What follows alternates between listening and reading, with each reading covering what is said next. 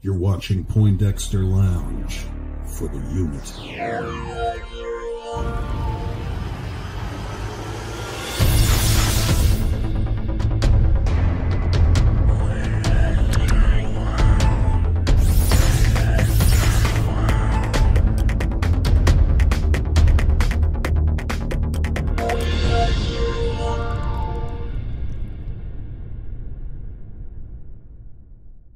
What's up, nerd family? Welcome once again to the Poindexter Lounge. My name is Enosh, aka Enosh Fett, and it is good to have you with me in the lounge today.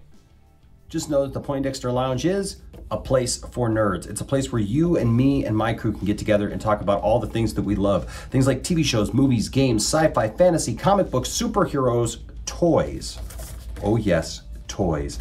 And uh, so much more. And if those things are the things that get you excited, if those are things that get you uh, up early to go stand in line outside of a store hoping that you'll be first in line to get a new toy, or maybe you're online trying to get your credit card information in fast enough and your shipping information in fast enough so that you get that deal, then you have found the right place. And we understand. Um, we understand the hurt. We understand the pain that you're going through. So please uh, hit that subscribe button as well as that notification bell and become part of this growing group of nerds. We'd love to have you here.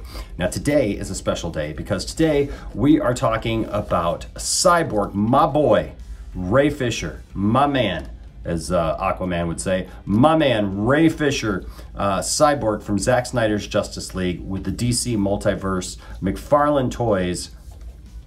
Cyborg action figure. So we're going to go ahead and review this. Now today uh, is a little something different too because I'm coming to you from my new office. I'm trying to set up my new studio and office and everything. I just got a few of my figures up uh, already. I don't have the, the studio part set up yet. I can't wait for you guys to be able to see that but uh, you know just something a little different a little uh, different environment. And uh, i can't wait to get this all set up and be able to do this uh, do these reviews do more reviews because i had to get away from that a little bit when i wasn't in the office so much last year. So i'm looking forward to getting back into doing that you know after work and and just having some fun with you guys all right? So let's jump into this action figure though and see what mcfarlane did all right, so here is the figure itself. You can see here is the box. It looks really good.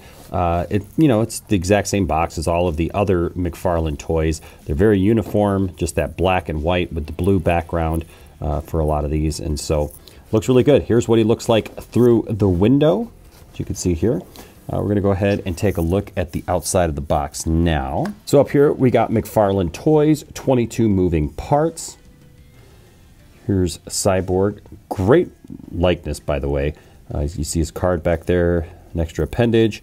DC Multiverse Cyborg, Justice League 2021. Over here on the side, we've got Justice League 2021, Cyborg Justice League, and of course, McFarlane Toys.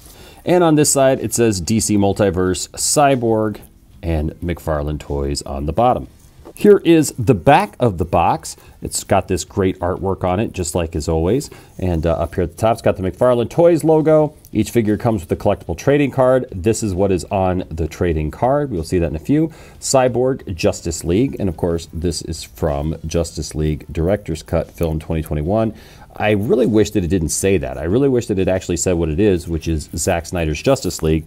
But for some reason, they put Director's Cut. I don't know why.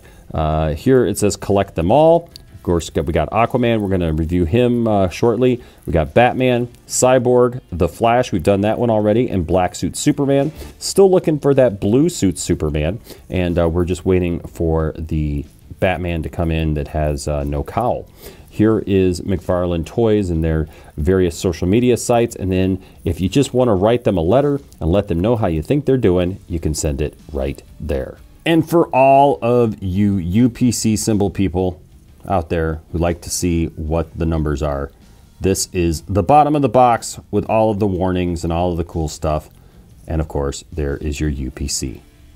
Let's go ahead and open him up right now.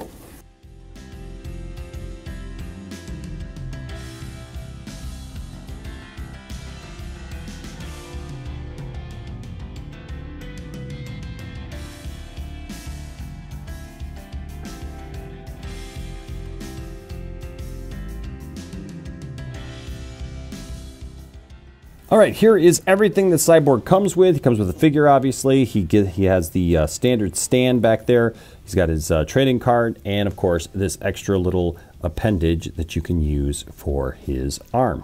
Let's go ahead and take a look at the figure itself.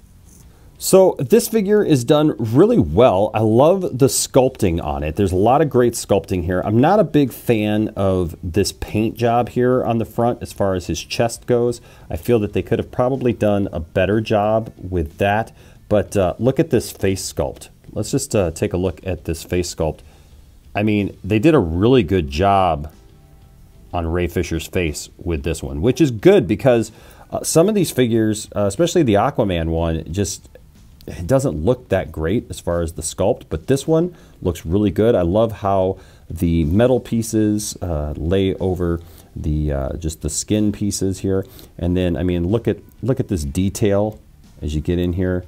Uh, this really great detail of the figure torso. The, the middle part here is something we'll talk about in a second that I'm not really happy with, but yeah, that's a whole other thing.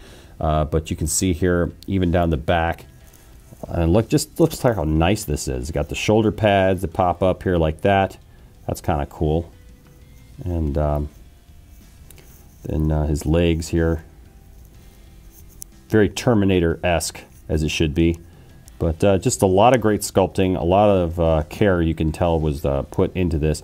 Back here you can see where it's kind of hinted at with the other arms that Cyborg has that came out in Zack Snyder's Justice League. So let's go ahead and take a look at his articulation. His head will go up and down. You got some great movement here. Look at this. You can almost get his head to go completely straight up, which is really cool, especially if you've got him in a flying pose. It's very, very cool. His, uh, his head does go all the way around, like so. His arm is on that same kind of butterfly hinge that uh, all of McFarlane's toys are, which is really cool.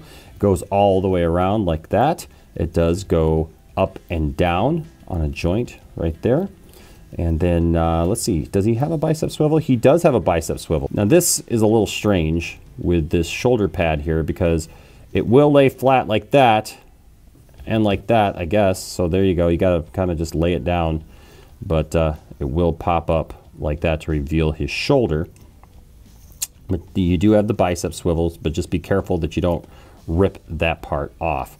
Also, he's got a, uh, a single bending elbow right there. You can see there. And then, of course, his wrist does that right there. It just kind of goes and then it uh, goes back and forth. It's on that same well, it's a different kind of joint, actually. It's not uh, the same just ball joint as uh, most of McFarlane's uh, figures are. So, uh, and then we'll, we'll have to figure out the situation. There it is right there.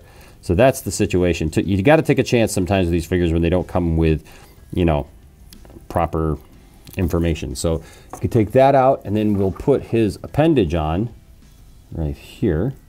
So that'll just snap, should snap right in. You want to be careful yeah, especially with this the way it is. Uh, just looks difficult. But there you go. There is his arm, his tool arm. That looks cool. And of course his other arm does the exact same thing, except for it does not look like you can put the, uh, the second appendage on there like that one. Now, he kind of has the same basic crunch. Uh, he's got, you know, the two separated pieces for the waist. So he will go around at the top waist. That's on a ball joint.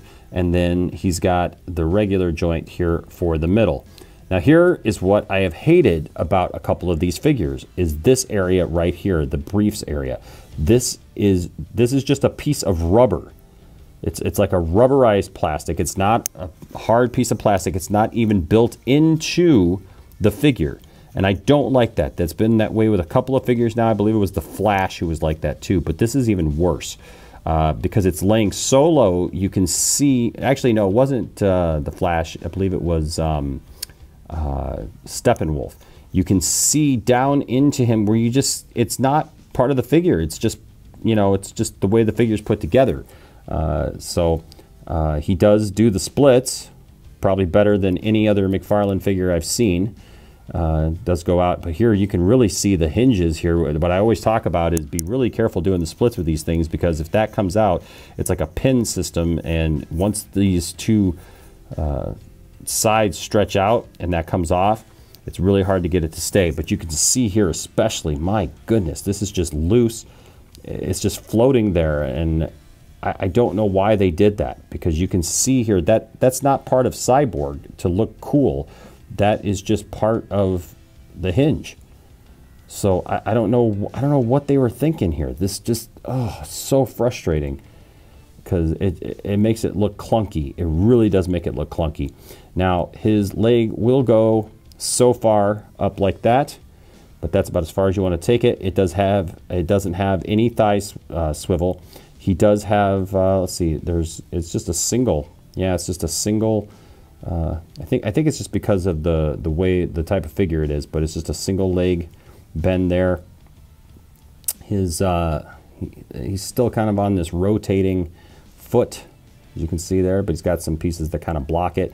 It does go up and down like so, and then it's of course got to have the toe uh, up and down, and of course the other leg does the exact same thing. Here is the stand with the DC etched in it and he's got the hole in both feet so you can put that at any place you want to make him stand up. Here is the hand that we took off and of course here is the card.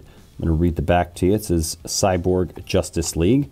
On the back here, it says Cyborg Justice League data file, source, Justice League Director's Cut. Uh, again, real name Victor Stone. It says part man, part machine. Victor Stone is a former star athlete at Gotham City University. After a horrific car accident nearly cost him his life, he was saved when his father, scientist Silas Stone, used an Apokoliptian mother box to reconstruct his body. In the process, Silas turned Victor into a human computer, organic with biomechatronic, try saying that five times fast, biomechatronic body parts.